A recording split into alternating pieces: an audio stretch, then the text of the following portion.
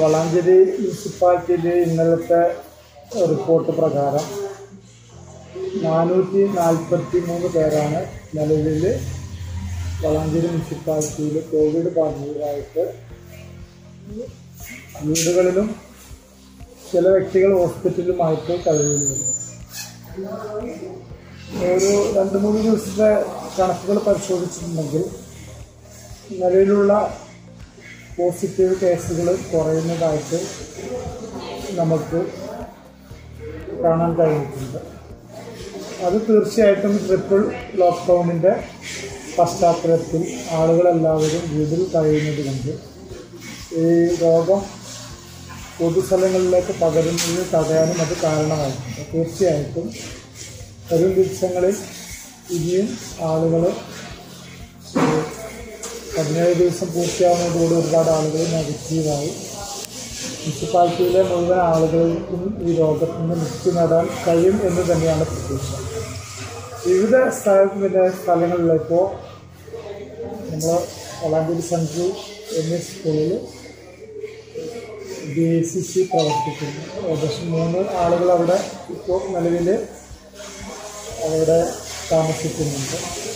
അങ്ങനെ വളാഞ്ചേരി മുനിസിപ്പാലിറ്റിയിൽ അങ്ങനെ സ്വന്തമായിട്ട് ക്വാറന്റൈനോ അല്ലെങ്കിൽ വീട്ടിൽ സൗകര്യമില്ലാത്ത ആളുകൾക്കാണ് മുനിസിപ്പാലിറ്റി അത്തരം സൗകര്യം ഏർപ്പെടുത്തിയിരിക്കുന്നത്.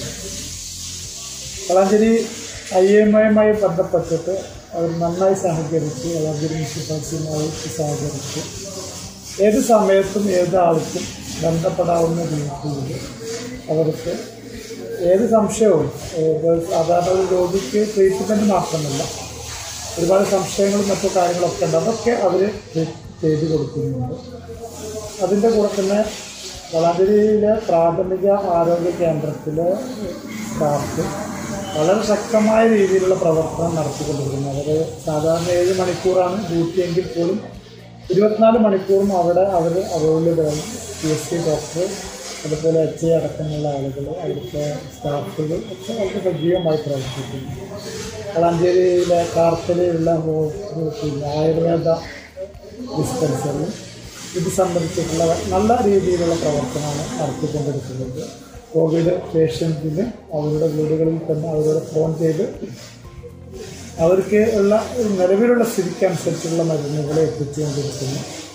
അതുപോലെ തന്നെ സിദ്ധ പൈമണയിലുള്ള സിദ്ധ ഡിസ്പെൻസറി അവർക്ക് ബന്ധപ്പെട്ട ആളുകൾ.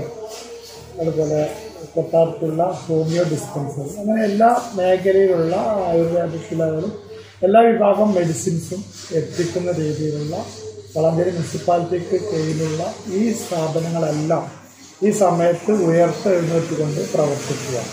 മാത്രമല്ല പല ആളുകൾക്കും മരുന്ന് കിട്ടാത്ത സംവിധാനമുണ്ട്. ഇവിടെ മെഡിസിൻസുമായിട്ട് ആലോചിച്ചുകൊണ്ട് അവരെ ഫോൺ ചെയ്തിട്ടുണ്ടെങ്കിൽ അവരുടെ മരുന്ന് എന്താണ് ആവശ്യം എന്നുള്ളത് അവരെ അറിയിച്ചിട്ടുണ്ടെങ്കിൽ വളരെ കുറഞ്ഞ നിരക്കിൽ തന്നെ അവർക്ക് മരുന്നുകളൊക്കെ വീട്ടിലെത്തിക്കുന്ന സംവിധാനവും ഏർപ്പെടുത്തിയിട്ടുണ്ട്. തീർച്ചയായിട്ടും R R T volunteers Valanchery മുനിസിപ്പാലിറ്റിയിലും ഏകദേശം പത്ത് നൂറ്റി അൻപതിൽ തരം ഉള്ള ആർ ആർ ടി വളണ്ടിയേഴ്സ് അവർ വളരെ നല്ല രീതിയിലുള്ള പ്രവർത്തനമാണ് മുനിസിപ്പാലിറ്റിയിൽ നടത്തിക്കൊണ്ടിരിക്കുന്നത് ആർക്കും പുറത്തിറങ്ങാൻ വരാത്ത ഒരു സിറ്റുവേഷനുണ്ട് അപ്പോൾ അവർക്ക് വേണ്ട ആവശ്യ സാധനങ്ങളെല്ലാം ആർ ആർ പി വളണ്ടിയേഴ്സ് മുനിസിപ്പാലിറ്റിയിലുള്ള മുഴുവൻ മുപ്പത്തിമൂന്ന് കൗൺസിലർമാരും ആ പ്രവർത്തനങ്ങൾക്കൊക്കെ നേതൃത്വം നൽകുകയാണ്.